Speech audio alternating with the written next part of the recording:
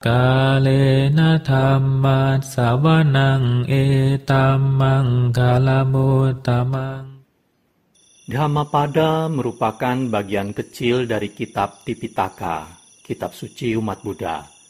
Tipitaka terdiri dari Winaya Pitaka, Sutta Pitaka, dan Abhidhamma Pitaka. Dhammapada merupakan kitab kedua dari kitab Khuddaka Nikaya, Khuddaka Nikaya sendiri merupakan kitab kelima dari Sutta Pitaka. Dhammapada berbentuk syair yang disabdakan oleh Buddha Gautama. Seluruhnya berjumlah 423 bait yang terbagi dalam 23 kelompok atau waga. Dari sisi jumlah halaman, Dhammapada hanya berjumlah 0,35% dari total seluruh halaman kitab suci Tipitaka. Namun, Dhammapada dapat dikatakan merupakan kitab bagian dari Tipitaka yang paling populer, syarat dengan makna dan berisi ringkasan ajaran Buddha. Penuturan syair Dhammapada di video ini ditujukan untuk kita renungkan. Penuturan bahasa palinya bukan sebagai sarana pembelajaran pengucapan bahasa Pali yang benar. Meskipun demikian, penutur tetap berusaha sesuai kemampuannya untuk mengikuti aturan pengucapan menurut tata bahasa Pali. Namun dengan segala kerendahan hati, penutur memohon maaf atas kesalahan yang terjadi, baik dalam pengucapan maupun dalam pelantunan bahasa Pali dari bait-bait Dhammapada ini. Dalam satu video akan dituturkan satu bait bahasa Pali Dhammapada beserta artinya dan kisah latar belakang kejadian mengapa Buddha Gautama membabarkan bait Dhammapada tersebut. Namun jika dalam satu kisah Buddha membabarkan beberapa bait Dhammapada, maka seluruh bait tersebut akan dituturkan sekaligus dalam satu video. Untuk syair palinya, penutur memilih membacakan dari hard copy kitab Pustaka Dhammapada Pali Indonesia yang diterbitkan oleh Sangga Terawada Indonesia yang didukung penuh oleh Yayasan Sama Sayambu. Cetakan kedua tahap kedua. Tidak terdapat informasi tahun pencetakannya. Penerjemah dan penyusun Yang Mulia Bikhu Dhamma Dhiro Mahatera. Kitab Pustaka Dhamma pada ini dapat Anda temukan versi PDF-nya di web samasayambu.org. Untuk terjemahan bahasa Indonesia dan kisah latar belakangnya, penutur memilih membacakannya dari sumber web samakipala.or.id di bagian Dhammapada. Akhir kata, semoga syair Pali Dhammapada beserta arti dan kisah latar belakangnya ini dapat kita renungkan sehingga membawa manfaat kebijaksanaan bagi kita semua. Semoga semua makhluk berbahagia. Sadhu, sadhu, sadhu. Terima kasih. Namo tassa bhagavato arahato samma sambuddhassa namo tassa sabhagavato arahato samma sambuddhassa namo tassa bhagavato arahato samma sambuddhassa dasa. Pembacaan bait-bait Dhammapada beserta arti dan kisah latar belakang dibabarkannya bait-bait tersebut oleh Buddha Gautama. Danda Wagga, kelompok bait tentang hukuman.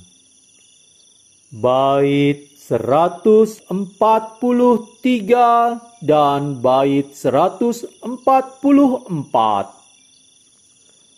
Bait 143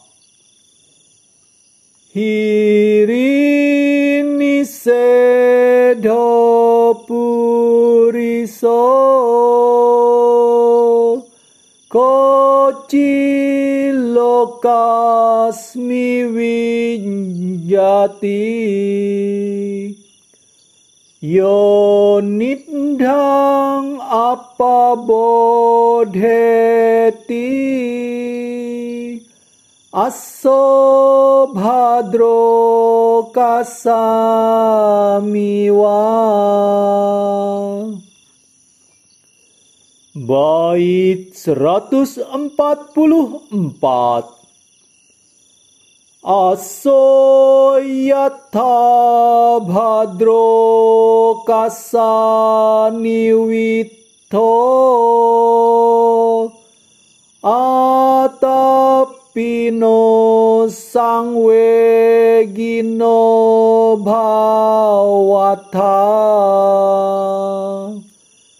สันทายาสิเลนะจาวิริยนะจาสัมมาทินาธัมมวินิจชายนะจา Sampanna carana patisata Pahasata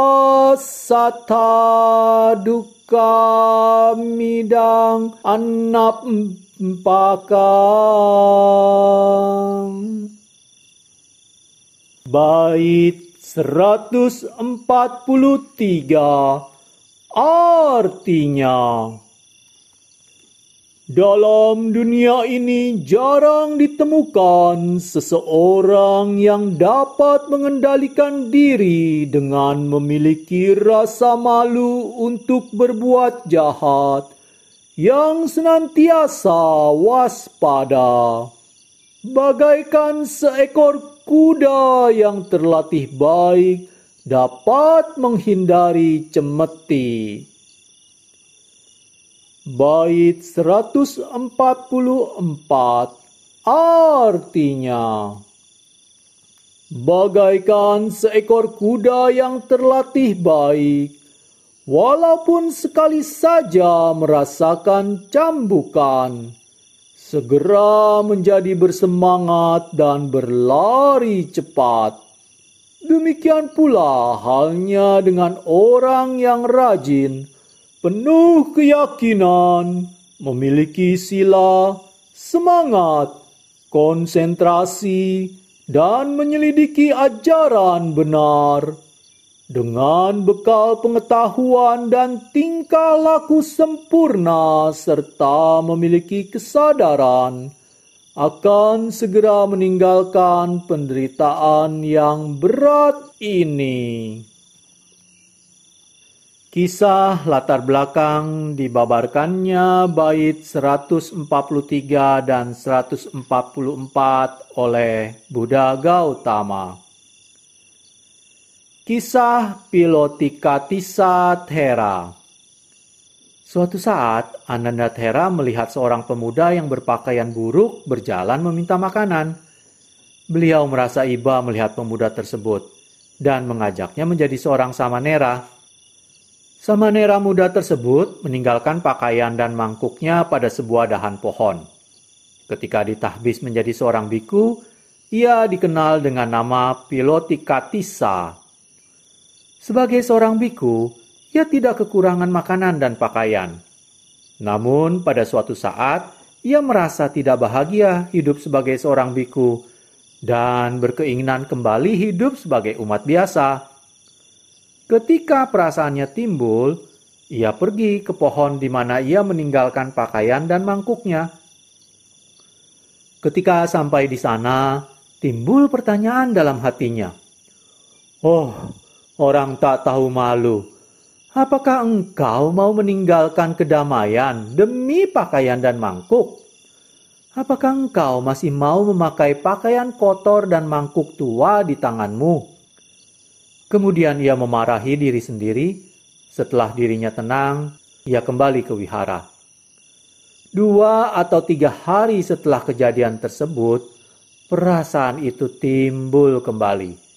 Ia kemudian pergi ke pohon itu kembali dan bertanya pada dirinya sendiri perihal pertanyaan yang sama. Seperti kejadian yang pertama, ia memarahi dirinya sendiri, dan setelah merenungkan diri, ia kembali ke wihara. Kejadian ini terulang beberapa kali. Ketika biku-biku lain menanyakan kepadanya, mengapa ia sering pergi ke pohon tersebut, ia memberitahu mereka bahwa ia pergi menemui gurunya. Kurung buka dianggap sebagai guru karena membuat ia malu dan kembali ke jalan yang benar. Kurung tutup. Dengan tetap memikirkan pakaian dan mangkuk sebagai objek meditasi, ia menyadari hakikat dari corak kenyataan kelompok kehidupan atau kanda sebagai tidak kekal atau anicca, tidak memuaskan atau duka, tidak ada aku atau anatta yang mengkondisikan ia mencapai tingkat kesucian arahat. Kemudian ia tidak lagi pergi ke pohon guru. Melihat hal itu, biku-biku lain bertanya kepada Pilotika Tisa, Mengapa engkau tidak pergi menemui gurumu lagi? Kepada mereka ia menjawab, Saat saya membutuhkan, saya akan pergi kepadanya. Tapi saat ini saya sudah tidak mempunyai kebutuhan lagi untuk pergi kepadanya. Saat mendengar jawaban tersebut, biku-biku itu membawa Pilotikatisa menghadap Sang Buddha. Saat mereka tiba, mereka memberi hormat kepada Sang Buddha dan berkata, Bante, biku ini mengaku telah mencapai tingkat kesucian arahat. Ia pasti telah berbohong. Akan tetapi Sang Buddha berkata, Para biku, Pilotika Tisa tidak berbohong. Ia berkata benar, walaupun ia mempunyai hubungan baik dengan gurunya saat lalu, namun saat ini tidak mempunyai hubungan lagi dengan gurunya.